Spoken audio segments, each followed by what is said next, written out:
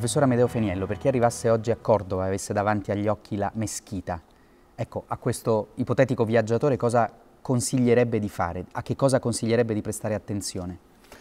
Io gli consiglierei di sognare, perché la meschita è un sogno realizzato, è un'architettura pensata eh, da un uomo che aveva in sé un'idea fantastica, quella di recuperare la sua memoria.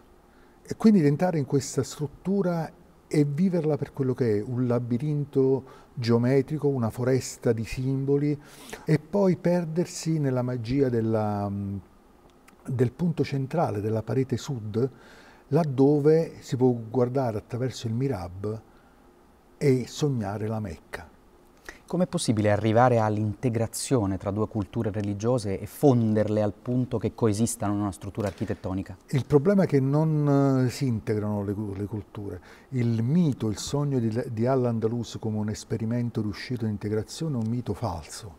C'è uno scontro di, eh, religioso, uno scontro di civiltà che si esprime in una continua eh, guerra guerreggiata, anche nel momento in cui eh, sulla meschita viene creata una nuova basilica cristiana nel Cinquecento, appare veramente come una violenza, è come un parassita che si, che, che, che, che si immerge su una struttura viva come era la, la meschita originale.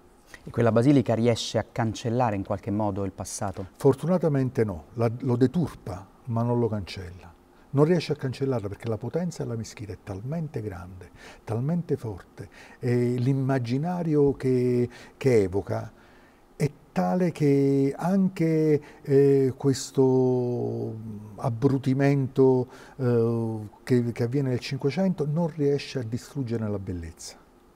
Grazie.